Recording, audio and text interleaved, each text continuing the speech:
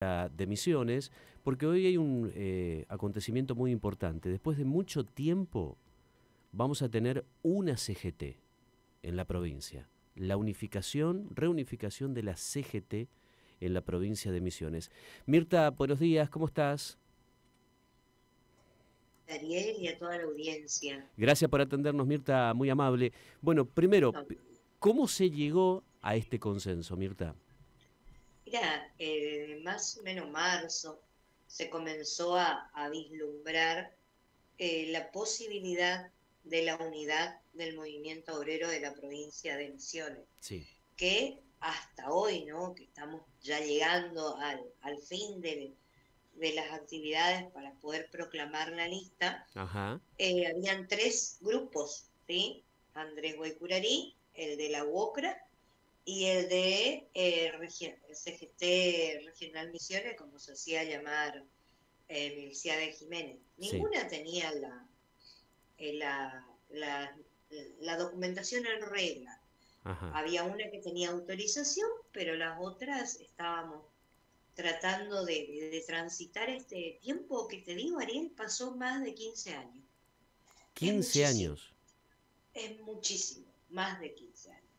Bueno, entonces esto fue un trabajo arduo, arduo, y la que te cuenta eh, tomó la posta, porque primero, porque la mujer tiene que tener el lugar que le corresponde, no le venimos a sacar nada a nadie, eh, y porque tenemos que pensar en el movimiento obrero, en, sus necesidades y no nuestro ego propio ni, ni el yoísmo que está caracterizado en la provincia de Misiones. Comenzamos a transitar, a hablar con todos los compañeros, yo he viajado al interior, desde el grupo Andrés Guaycurarí, que es el, grupo mayoritario en gremios confederados. Me quiero detener ahí. A ver. Confederado, porque hay un, conflicto acá entre confederado y no confederado. Confederado es, quiere decir que nosotros estamos adheridos a la CGT nacional, ¿sí? Que es la casa madre. En cualquier ámbito, si vos no estás, no, no formás parte, no podés pretender eh, votar y ser parte eh, en igualdad de condiciones con el confederado. Esto pasa con las asociaciones y gremios provinciales, pero esto no quiere decir que no van a estar incluidos existe una, reglamentación del estatuto de la CGT en donde establece las pautas cómo se normaliza una regional como es el de la provincia de Misiones y como eh, ya a lo largo y a lo ancho del país ya vienen eh, transitando y normalizándose, porque esto no pasó solo en Misiones, esto pasaba en todas las jurisdicciones de la República Argentina. Sí. El, procedimiento es el siguiente, porque hay eh, como una confusión acá entre los compañeros. A ver. Primero ingresan los gremios confederados que tienen el aval de su federación, de, la unión, de su gremio madre o su federación madre. El aval es una hoja membretada firmada por la máxima autoridad de ese sindicato eh, y en donde dice la máxima autoridad, en mi caso, por ejemplo, el profesor Sergio Romero, UDA, en Brete, eh, autoriza a la compañera Mirta Chemes, DNI, a participar del plenario de la CGT Regional Misiones. Eso se la va. Me autoriza la federación o la unión o el gremio nacional ellos entran primero.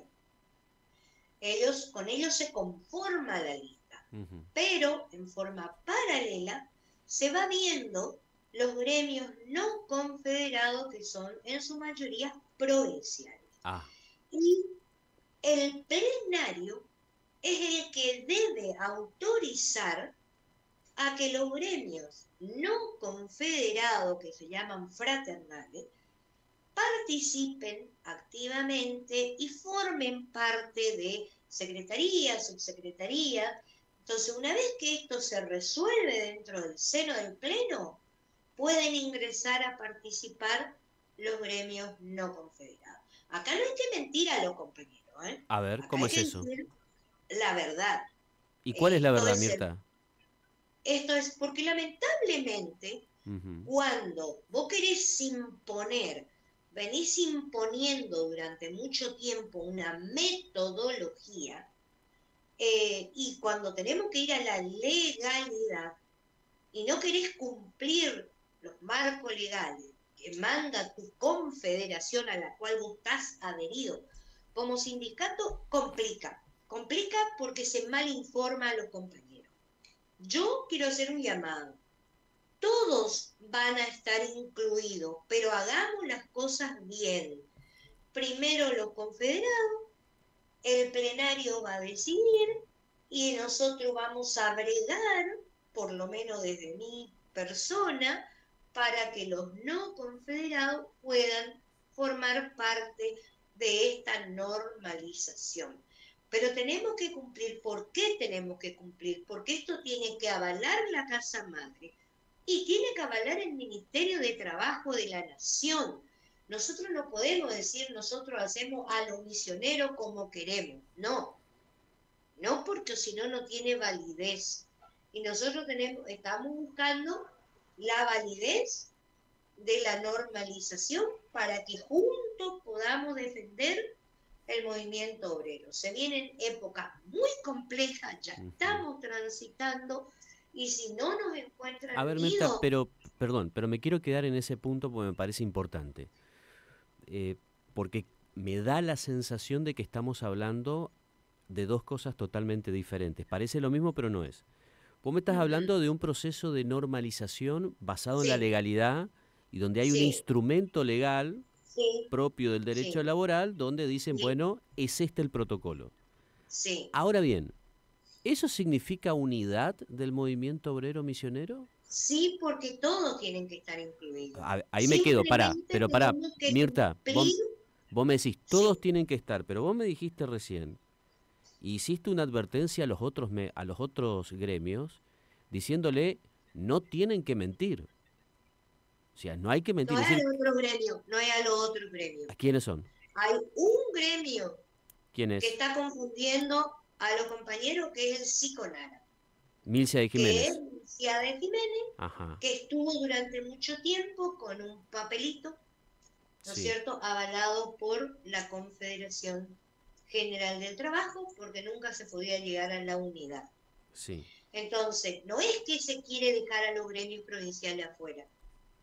Solamente hay que cumplir el protocolo para que todo sea legal y que todos podamos estar adentro y que todos podamos trabajar en pos del movimiento obrero. Hay un gremio que está mintiendo. Sí, que está diciendo que el compañero Otero que es el que viene desde la Secretaría del Interior con mandato del Consejo Directivo Nacional de la CGTRA para normalizar todas las jurisdicciones, no solo la nuestra. Y él mandó clarito todo cómo teníamos que hacer el procedimiento. Y no se quiere ajustar. Y vamos a perjudicar a los compañeros, estamos confundiendo. Estamos confundiendo, eh, diciendo que se viene por, por solo los gremios confederados y no se va a tener en cuenta a los no confederados. En ningún momento el espíritu, si el espíritu es la unidad, en ningún momento se pensó de esa manera. En ningún momento. Simplemente que nosotros tenemos que ser orgánicos. Tenemos que aprender a respetar la orgánica. Entonces vamos a estar todos adentro en la legalidad. Ahora, Mirta, la última. Eh, en este contexto, ¿se puede hablar de una conducción colegiada a partir de esta tarde? ¿Y quiénes son? Sí. Porque yo tengo el dato de que, a ver, yo tengo el dato de que son cuatro, ¿puede ser? No, tres. Yo tengo el dato de que son cuatro. No, hasta ahora es tres. A ver. Todo es posible dentro del plenario. Todo es posible. Sí. ¿Sí? Porque justamente, ¿qué estamos buscando? La unidad. Está bien. Entonces, ¿hoy quiénes son? Hoy ahora, desde ayer a la tarde, porque esto por eso te digo, todo, va cambiando durante que llegamos a este gran proceso que es el plenario. Sí. Hasta hoy es la UOCRA, sí. la UDA y camionero. Ah. El dato que yo tenía era UOCRA, UDA, Siconara y se sumaba camioneros.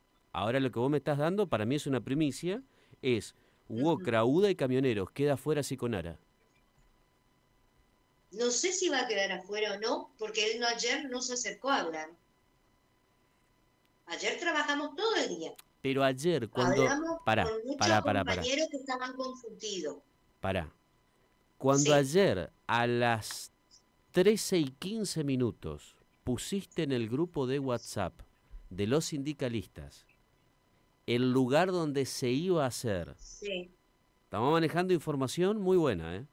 sí, sí. sí donde sí. se iba a hacer el cambio, porque ustedes tenían todo preparado para hacer en la sede del- de la CGT. En la sede de el- la Casa de los Trabajadores. Está bien. Y cambian y Sucedieron cosas. Sucedieron Ah, cosas ah, ah. Entonces no me estás contando, para, para, no me estás contando eso- completa.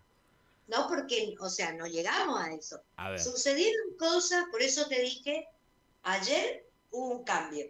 sí, Cuando llega el compañero Otero, sí, viene eh, con una, eh, una objeción puntual en donde dice, sí, cuando llamás a un plenario, la convocatoria la publica y la firma la Secretaría del Interior de la CGTRA. Eso se hizo el día viernes. sí, Pero paralelamente, en la misma hoja del diario Primera Edición, el compañero Universidad de Jiménez convocó él firmando como secretario general de la CGT Regional Misiones, cuando hay un documento desde marzo de la Confederación del Trabajo que decía que no, no hay más prórroga y que establecía un plazo de 90 días para normalizar la CGT que se extendió justamente porque queríamos llegar a la unidad y no podíamos consensuar. Cuando hoy incumplís lo que manda la casa madre, pasan estas cosas. Pasan estas cosas. Y además, cuando vos hablas de un plenario donde nosotros confiábamos que íbamos a poder estar ahí, que íbamos a poder ingresar a la casa, que íbamos a poder hacer el plenario ahí, después íbamos a salir a la calle al acto, eh, la casa tampoco está en condiciones, que yo pude acceder a ingresar a la casa de los trabajadores el martes, sí, martes a la tarde, si mal no recuerdo, no porque el compañero Milciade me permitió, sino porque pasé, pensé que iba a estar ahí, no lo encontré, estaba un chico pintando, le pedí, me presenté, le pedí que mm, me permita ingresar, que quería ver para ver cómo podíamos acomodar el plenario en la casa, y bueno, la casa no está en condiciones para eh, hacer un plenario. Entonces, ayer se debatía un lugar en donde se pueda sesionar con calma, con tranquilidad. sí, Bueno, entre todos decidieron camionero, que podría haber ser comercio que íbamos a hacer ahí, pero no entran los más de 60 sindicatos que van a formar, confederados, que van a formar parte del plenario y después se tienen que sumar los no confederados. Mirta, Eso es lo que sucedió. Hay cosas que nosotros no podemos manejar, que Sí. baja línea es el sindicalismo es prácticamente vertical. sí, Nosotros, eh, eh, verticalistas, nosotros tratamos de hacerlo horizontal, pero en la medida que se puede. Cuando vos no lo podés hacer porque ya baja línea y está dentro de un estatuto, y tenés que ajustarte en beneficio de, de la normalización y que todos estemos adentro.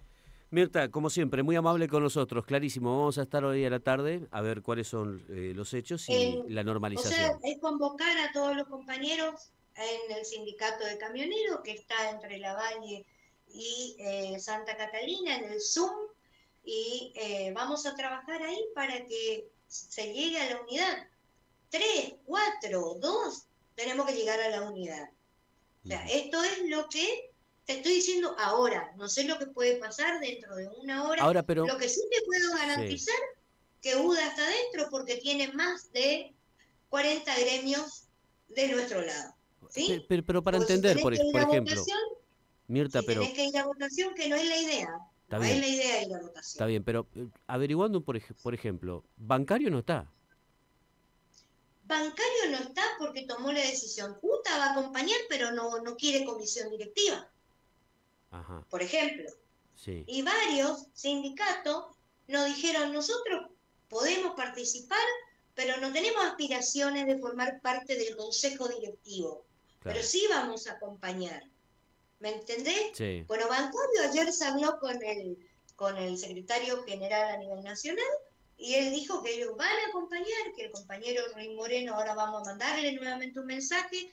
Eh, AXA, por ejemplo, acompaña, pero está con un problema de salud. Eh, Irma, pero sí va a ocupar una secretaría. Está bien, está clarísimo. Mirta, seguimos atentos. Gracias, eh, buena jornada. Hasta luego. Gracias igualmente.